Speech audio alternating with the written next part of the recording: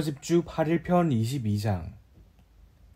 자왈 관중지기 소재 혹왈 관중검호 왈 관시유 삼귀 관사불섭 언득검 연즉 관중 지례호 왈 방군 수생문 관시 역 수생문 방군 위 량군지호 유반점 관시 여규 반점 관시이 지례 쑥 부지례 공자께서 말씀하셨다. 관중의 그릇은 작구나. 어떤 이가 공자에게 물었다. 관중은 검수합니까? 공자께서 말씀하셨다. 관시는 삼귀대를 가졌으며 관직리를 겸하지 않았으니 어찌 검수할 수 있겠는가? 어떤 이가 말했다. 그렇다면 관중은 예를 알았습니까? 공자께서 말씀하셨다. 나라의 임금이라야 생문을 세우는데 관시도 생문을 세웠으며 나라의 임금이라야 두 임금의 우호를 위해 반점을 가지는데 관시도 반점을 가졌으니 관시가 예를 알면 누가 예를 모르겠는가? 자, 자왈 나왔고 관중이라는 사람이 나오죠. 관중은 사람 이름인데요. 과거 제나라의 재상이었습니다. 당시 제나라 군주 환공 한자로 쓰면은 여기 쓰겠죠.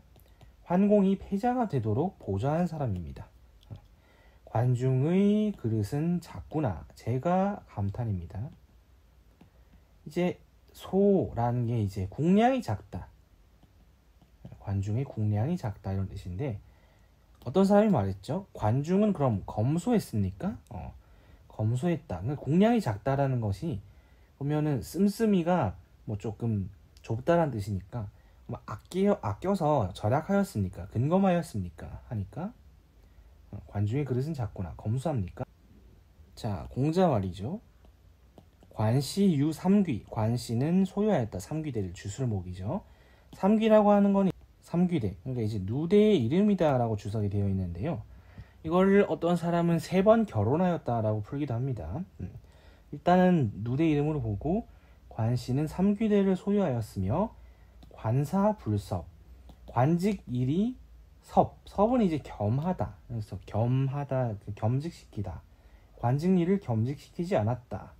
우리가 섭정이란 말이 있죠? 어, 정치를 대리하다 이런 뜻인데 관직리를 어, 예를 들어서 어떤 사람은 어떤 일을 맡고 어떤 일을 맡고 하잖아요? 여러 가지 일이 있어요.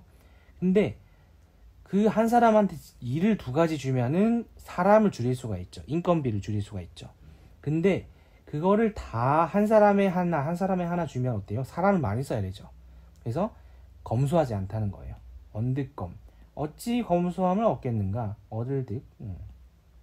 이때 언자는 어찌라고 하는데 진짜 물어보는 게 아니죠. 어. 일종의 수사 의문문인데 검소할 수가 있겠냐? 어, 검소하지 않다 이런 뜻이죠. 여기 왈자가 빠져 있는데 호구알입니다. 호구알 누군가가 말했다. 연즉 그러면 관중은 지레호 예를 알았습니까? 물어보죠. 어, 관시는 삼귀대를 가졌으며 관직리를 겸하지 않았다. 어찌 검소하겠는가? 그렇다면 관중은 예를 알았습니까? 이 예를 알았다는 게 상당히 재미있는데 검소하지 않은 거랑 예를 알았다는 건 어떻게 연결되냐? 예를 행할 때는 돈이 필요하다는 거예요. 음. 고대에도 예법에는 뭔가 재화가 필요하다, 재물이 필요하다 이런 겁니다. 자, 왈, 공자왈이죠. 방군, 나라의 임금이라야 수, 생문. 숫자가 나무 숫자인데 여기서 동사 세우다를 나타내고 있습니다. 생문을 세운다. 술목이죠. 음. 생문, 막을 색자, 문문자. 가림문. 어. 뭔가 그 대문을 열었을 때 집 안이 바로 보이지 않도록 생문을 세우는 그런 관습이 있는데요. 임금 같은 사람이 그 내부가 보이지 않게 하기 위해서 생문을 세운다. 이렇게 했는데 관씨 또한 관씨도 생문을 세웠다. 음. 그러니까 임금의 예법을 관씨가 훔친 거죠. 어. 나라 임금이라야 두 임금의 우호를 위하여 그러니까 외교할 때죠. 이 나라 임금 저 나라 임금이 만났을 때 우호를 위하여 유반점 반점이란 것을 소유한다. 반점은 술잔 받침대. 그러니까 술을 마시고 나서 반 반이 돌릴 반잖아요. 되돌려 놓는 받침대예요. 음. 관씨도 반점, 술잔 받침대를 가지고 있었다. 관씨가 이 지뢰, 이때 말을 있자는 그리고 그런 뜻이 아니에요. 종속절 명제와 상반되는 전제를 포함한 화자의 태도를 나타낸다. 이게 좀 어렵긴 한데 어떤 뜻이냐? 공자가 말하고 있잖아요. 공자는 관씨가 예를 안다고 생각하지 않는다는 소리예요. 관 씨가 도리어 예법을 안다면 이런 뜻으로 약간 쓰였다는 거죠. 오히려 예법을 안다. 음. 누가 예를 모르겠는가? 음. 관 씨가 예를 하면 누가 모르겠는가?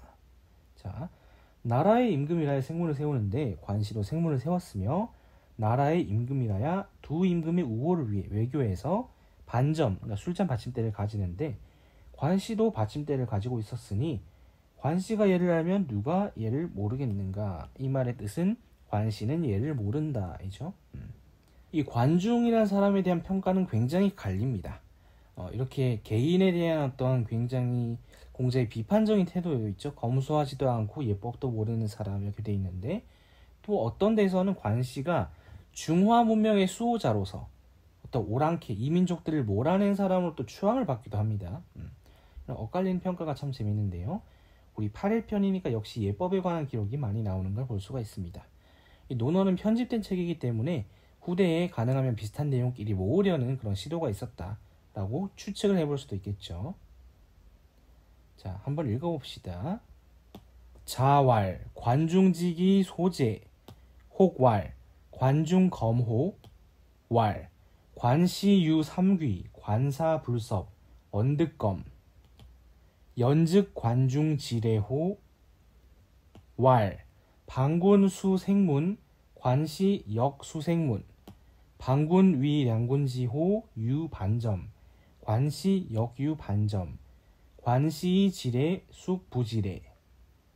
중국어 子曰管仲之器小哉或曰 管仲简乎？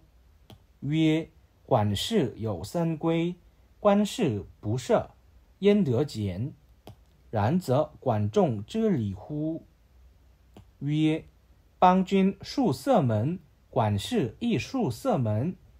邦君为两军之好，有反殿，管事亦有反殿。